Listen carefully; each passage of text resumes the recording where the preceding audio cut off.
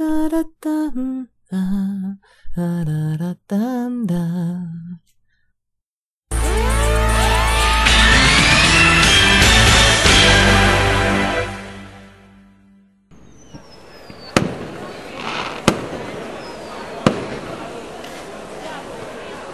Lark, these fireworks are amazing. You're friends with Gene Starwind? Uh,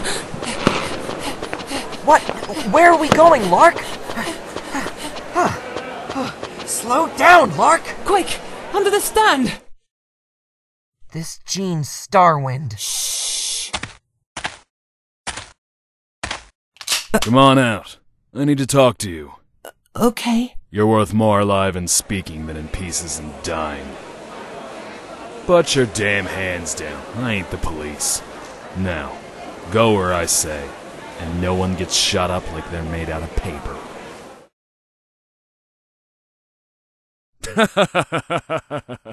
Get something to drink. Don't be so tense. Welcome to Blue Moon. What can I get you? Have you heard about that suicide bomber? It's all over the news. Alright, might as well get down to business.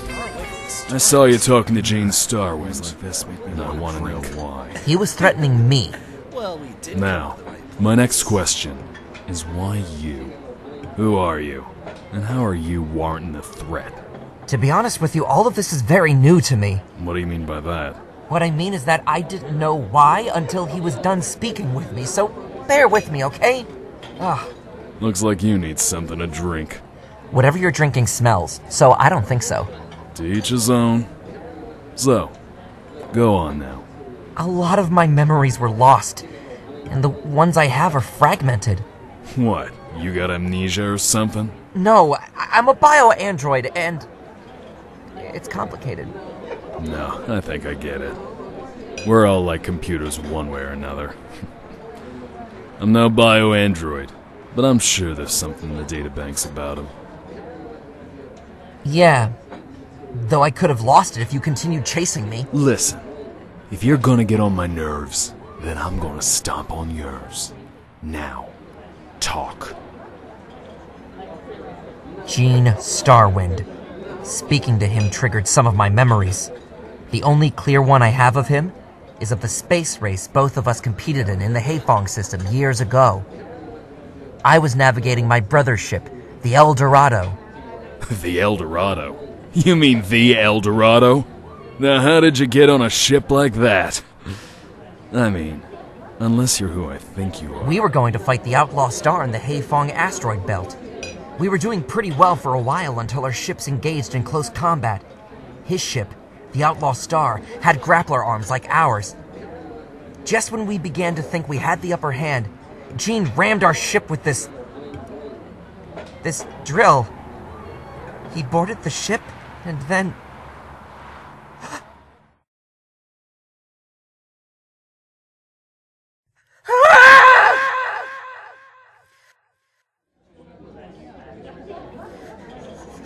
Those bangs.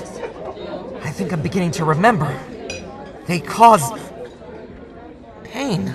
Did you have some kind of glitch or something? Yeah, I did. Anyway, that's all I know about Gene Starwind. He threatened me today because he was still mad about me attacking his ship. Good reason. There you are! Harry, I got a bone to pick with you.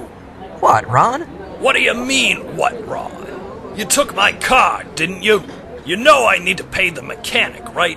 And I see you went shopping, too. You said we could. Man, you sure are stomping on a lot of toes. Yeah, I guess I did. Who's this? The name's Gallagher. I'm an outlaw. Ron MacDougall. The Ron MacDougall, and my suspicions were correct. So, I saw your brother here talking to Gene Starwind, and I want to know why. Gene? He threatened me. I see. Well, Gallagher, what's it to you? How much is he worth? I wouldn't know. Harry. Ron, All right, I'll tell you what I know.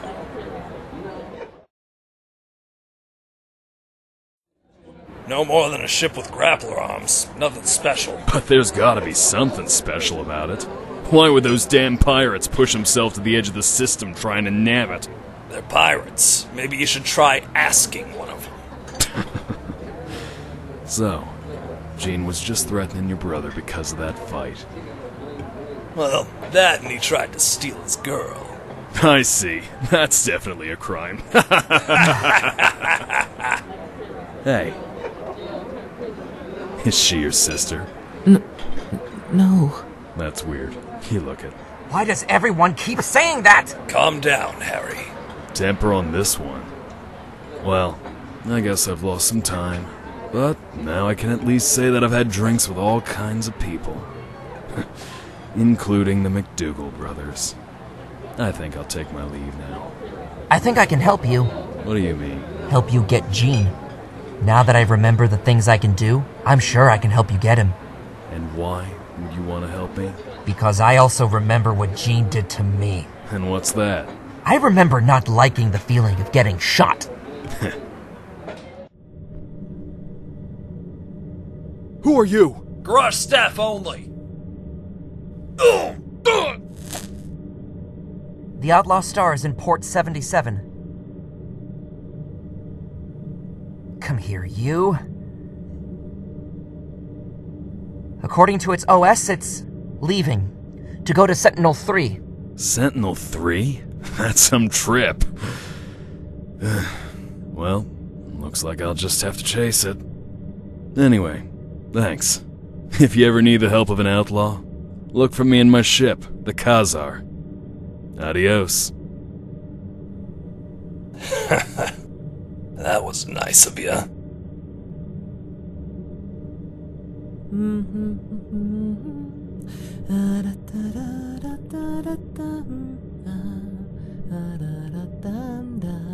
So I found out a couple of things, Harry. Russell Periwinkle, the Cronian I told you about, really regrets donating the ship. Also found out some Watau pirates have been trying to track it down for the past two years. Basically found out nothing else we don't already know, but we at least know that this ship really is special. Oh my! This ship is going to need a mechanic. I'm just borrowing him for a bit. How dare you kidnap me and force me into this marvelous work of art? You're soft. Why, thank you. Wait a second. I will not accept compliments from criminals. Now move your hand or else I'll bite it off. this is so embarrassing.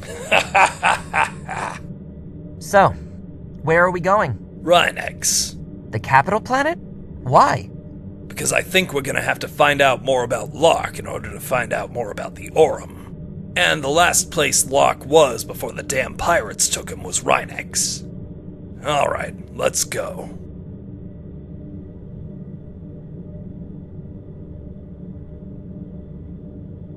Oh, my head. Who's there?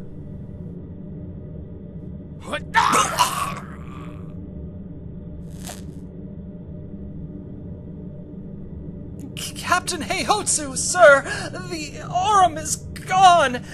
Oh man. Damn. Well, can you at least find out where it's going? Well, if the ship was still here. Forget it. We'll track them down later. Right now, I want some ice cream.